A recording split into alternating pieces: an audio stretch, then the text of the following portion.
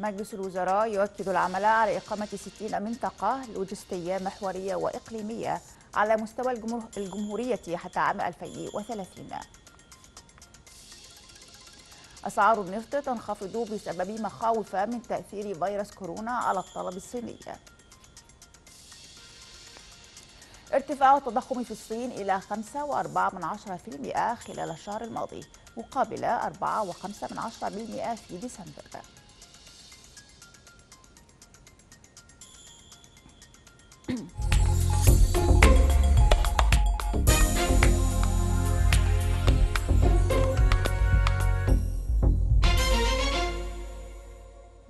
هذه نشاط الاقتصاد المفصلة تأتيكم من النيل الأخبار. أهلا بكم.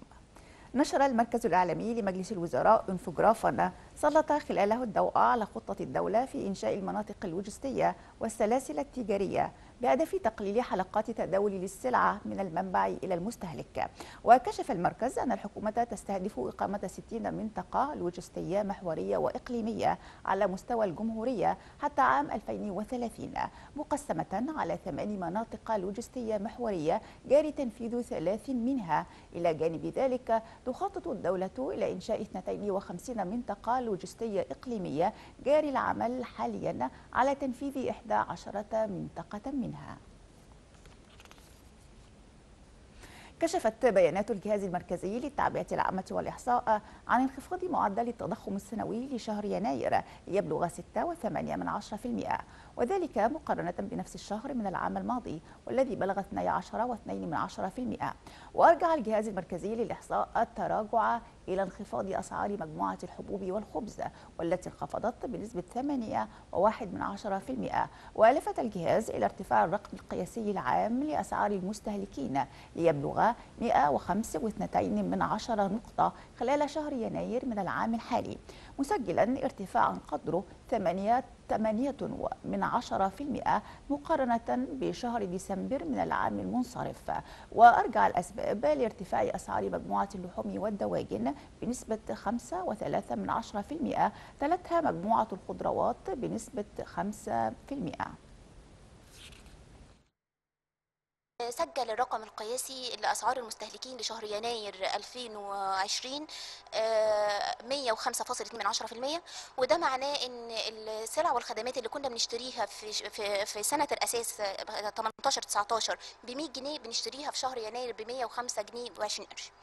بيخرج من رقم معدلين في منتهى الأهمية معدل التغير الشهري أو معدل التضخم الشهري واللي هو ده يناير عن ديسمبر وده سجل 8 من 10% نتيجة للتغير في بعض المجموعات والأقسام زي مجموعة الخضروات بنسبة 5% مجموعة اللحوم والدواجن بنسبة 5.3% مجموعة المياه المعدنية والغازية والعصائر الطبيعية بنسبة 6% قسم الرعاية الصحية بنسبة 5% قسم المطاعم والفنادق 3% وقسم السلع والخدمات المتنوعة 3% واصلت أسعار صرف الدولار تراجعها أمام الجنيه المصري في عدد من البنوك العاملة في مصر. وسجل سعر صرف الدولار في البنك الأهلي المصري وبنك مصر تراجعا بمقدار قرشين ليصل إلى 15 جنيها و69 قرشا للشراء و15 جنيها و79 قرشا للبيع.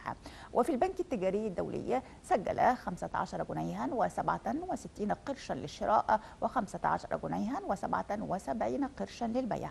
هذا ويتحدد سعر الصرف في البنوك المصرية وفقا لآلية العرض والطلب والتي بدأت مع تحرير سعر الصرف في الثالث من نوفمبر 2016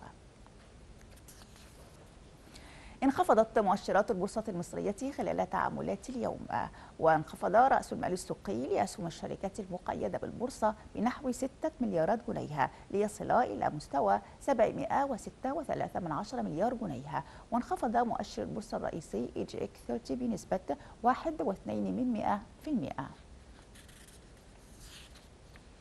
ولمزيد من التفاصيل معنا عبر الهاتف الأستاذة حنان رمسيس خبيرة أسواق المال. أستاذة حنان بعد التحية اليوم الاثنين ثاني جلسات الأسبوع كيف تابعت وقيمت الأداء؟ مساء الخير يا دكتور عبير هو في طبعا فرق ما بين المأمول وما بين الواقع.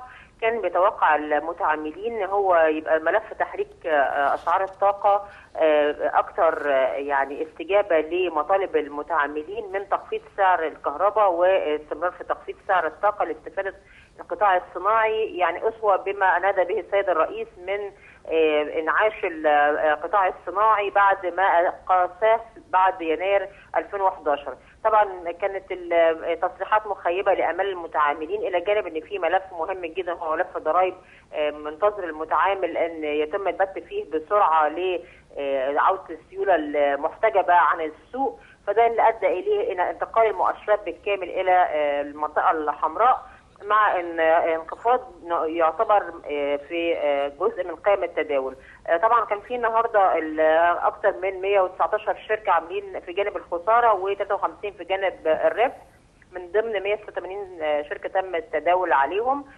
كان في فئات المتعاملين النهارده المصريين والأفراد مالوا إلى الشراء فيما مال العرب والأجانب والمؤسسات نحو البيع كنا مستهدفين الوصول إلى 14500 نقطة.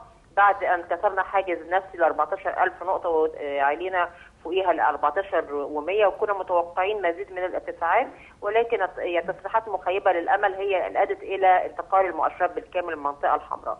نعم أستاذة حنان رمسيس خبيرة أسواق المال كنت معنا على الهواء مباشرة شكرا جزيلا لك أكد جهاز التمثيل التجاري ارتفاع حجم التبادل التجاري بين مصر والأردن خلال الفترة من يناير إلى نوفمبر 2019 لتبلغ 858 مليون دولار بنسبة زيادة قدرها 52% مقارنة بنفس الفترة من عام 2018 وأوضح الجهاز أن الصادرات المصرية زادت إلى السوق الأردنية خلال 11 شهرا لتبلغ 742 مليون دولار بنسبة زيادة 61 مقارنة بنفس الفترة من العام السابق له مشيرا إلى أن أهم الصادرات تضمنت الكهرباء الغاز الطبيعي البرتقال الأجبان السيراميك والتلفزيونات.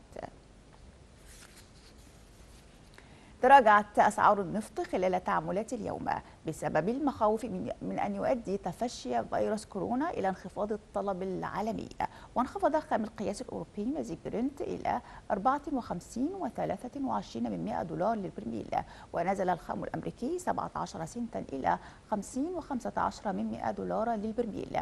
والنفط منخفض أكثر من 20% عن الذروة المسجلة في يناير بعد أن نال تفشي الفيروس من الطلب في أكبر مستهلك للخام في العالم وأجج المخاوف من تخمة المعروض. أظهرت بيانات مكتب الإحصاء الوطني الصيني ارتفاع معدل التضخم خلال يناير الماضي إلى 5.4% مقابل 4.5% في ديسمبر.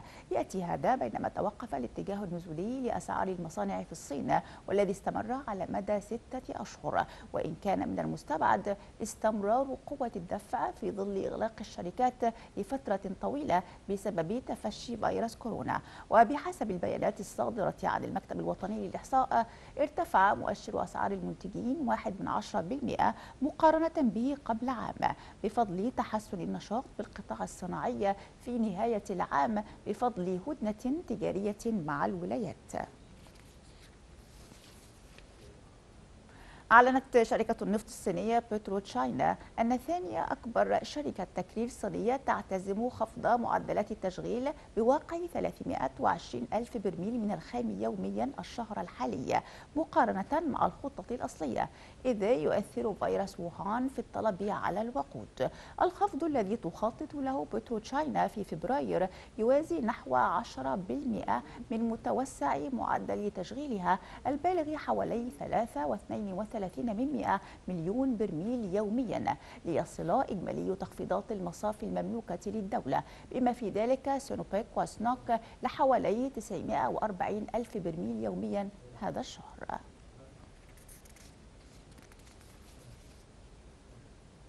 ويرى الاقتصاديون أن جميع الدول المنتجة للنفط وخاصة الناشئة ستتأثر بفيروس كورونا حيث إن الصين تستهلك أكثر من 10% من الإنتاج العالمي للنفط وأن الأسعار ستتراجع بالضرورة في حال انخفاض الطلب.